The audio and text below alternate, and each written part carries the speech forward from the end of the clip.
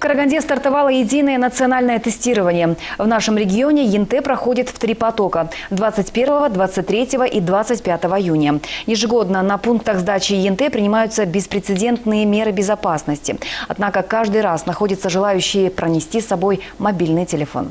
О том, как прошел первый день сдачи ЕНТ в нашем следующем материале. С раннего утра на площади у главного корпуса Каргу сотни школьников. Еще больше тех, кто пришел их поддержать. В нынешнем году в Каргандинской области выпускается более 7 тысяч школьников. Из них 5 тысяч сдают единое национальное тестирование. Это на 8% больше, чем в прошлом году, заявили специалисты управления образования.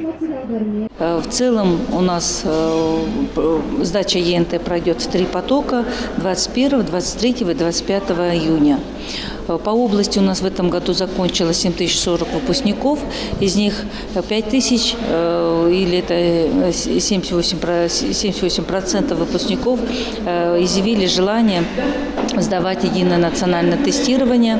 Это на 8% больше, чем в прошлом году. Сегодня наше в первом потоке сдают выпускники городов Караганда, Шахтинск и на областные организации. Э, всего 1541 ребенок. Служба безопасности тщательно проверяет школьников у входа в здание. Все были предупреждены о запретах, однако некоторые школьники все же умудрились взять с собой шпаргалки и телефоны. Нашим журналистам удалось запечатлеть казусные моменты.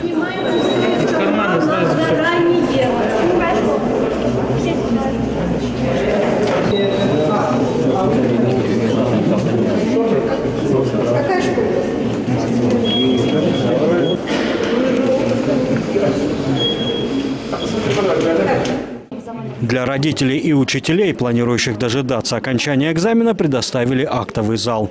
Болельщики наблюдали за экзаменом в режиме реального времени. На большой экран попеременно выводилась картинка с камер наблюдения, установленных в аудиториях.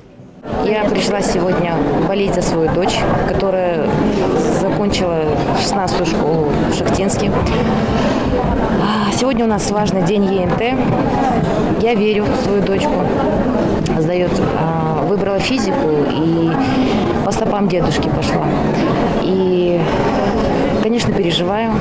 Слов, слов много, эмоций много. Но хочу сказать, что светлая голова годы упорного учения и все приведут.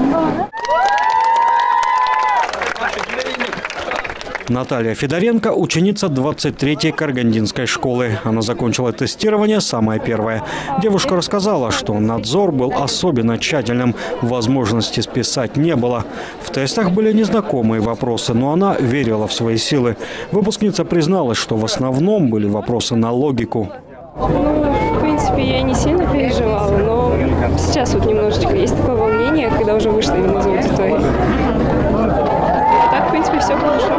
Расскажите по вопросам, то есть что было самое сложное для вас вот, в новых вопросах? Ну, наверное, то, что очень много логических вопросов, которых раньше. Теперь выпускникам остается ждать результаты. Уже на следующий день те, кого не устроили итоги экзамена, смогут подать апелляцию. Претензии следует подавать лично, при себе иметь удостоверение личности и черновик со своими вариантами ответов. Андрей Тена, Жаргибаева, Жасулан Макулбеков, Андрей Тимофеев, Первый Карагандинский.